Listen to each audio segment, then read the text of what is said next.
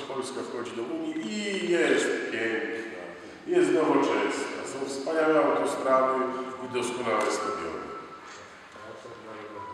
Dzisiaj nam mówią, tu pod Wrocławkiem otwieramy ostatni kawałek autostrady.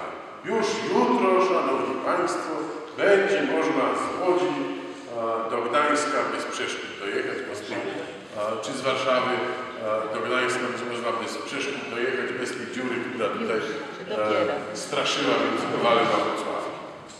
I mamy być z tego zadowoleni. Pewnie, że jesteśmy, bo lepiej, że ta autostrada jest, niż gdyby jej nie było. Więc jest się z czego cieszyć, ale jakim kosztem, Szanowni Państwo? A koszt jest ogromny. Ja już nie mówię o tym, że koszt budowy kilometra e, naszej autostrady jest niemal dwukrotnie wyższy niż koszt budowy autostrady przez górzystą Szwajcarię. Ja już nie mówię o tym, że tutaj mamy do czynienia z ponad dwoma latami opóźnienia. No niech tak. To się można poślizgnąć. To może nie wyjść. Różne rzeczy. Ale Szanowni Państwo, my tu mamy do czynienia po pierwsze z olbrzymią, olbrzymią, niewyobrażalną